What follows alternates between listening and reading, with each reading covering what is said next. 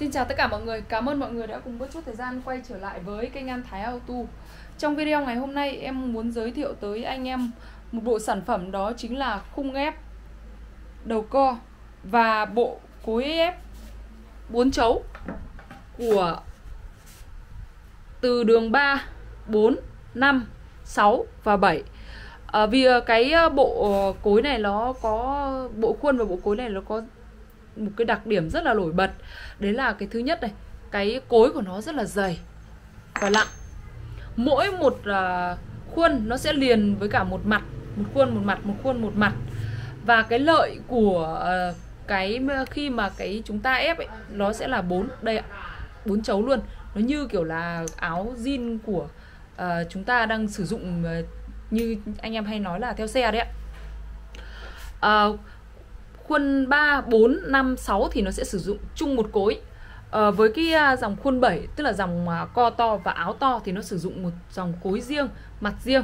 Đây ạ, mặt thì vẫn là mặt riêng nhưng bốn loại này nó sẽ sử dụng chung một cối. Với cái bộ uh, sản phẩm này thì khung này của nó sẽ không bao gồm kích ép nha anh em Không bao gồm kích ép.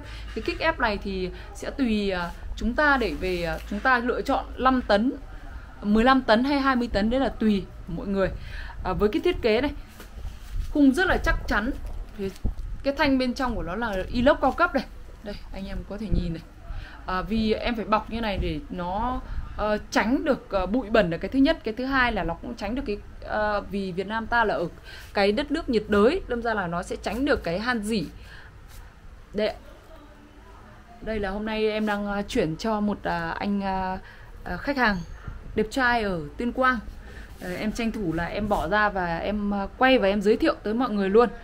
À, anh anh em có nhu cầu hãy liên hệ với em theo số 0769086333 à, với anh em nào muốn đóng cả bộ như anh này cũng ok mà nếu không thì anh em mua cối không bên em cũng có bán lẻ.